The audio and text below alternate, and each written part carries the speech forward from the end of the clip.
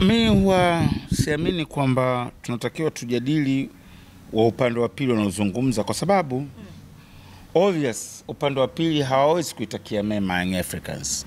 Obvious upande wa pili hawawezi kuzungumza positive kuhusu Young Africans.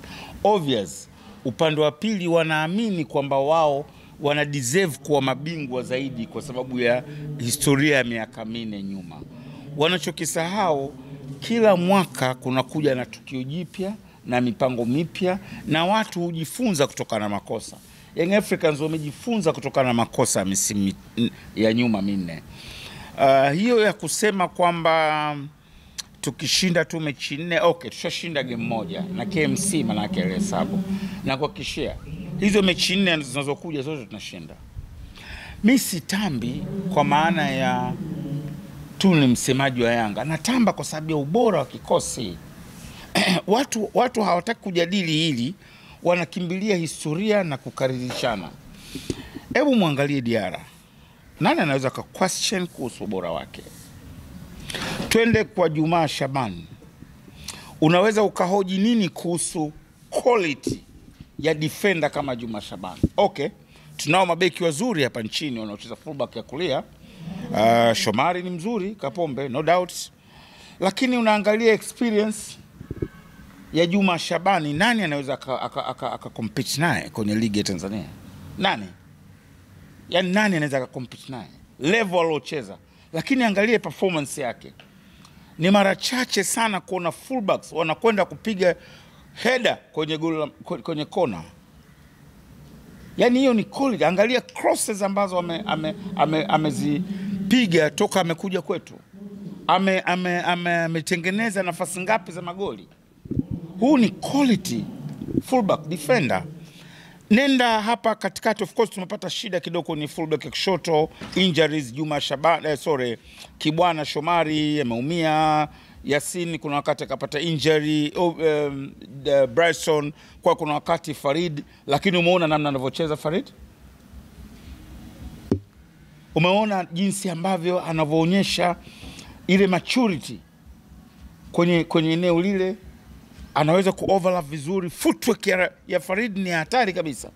Hapa eneo la katikati ndio balaa, hauwezi kukompea, hauwezi. kwamba amewazidi quality. Number don't lie. Angalia idadi ya magoli ambayo Young Africans imeput- imeconcede kwenye ligi ya safari hii. Namba, hatuongei kwa porojo, yaani weka fact tujadili.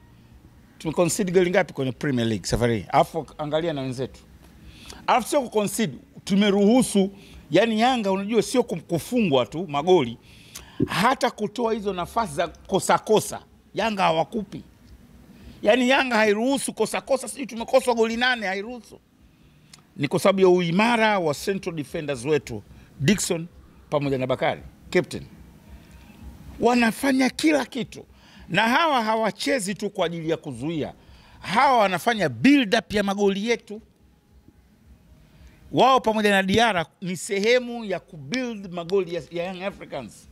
Yaani kuna wakati Diara, kwa mfano goli tuliwafunga la Maele na tulivyocheza na, na, na, na, na, na, na Makolo jamii. ngao ya jamii, build up ilianzia kwa nani?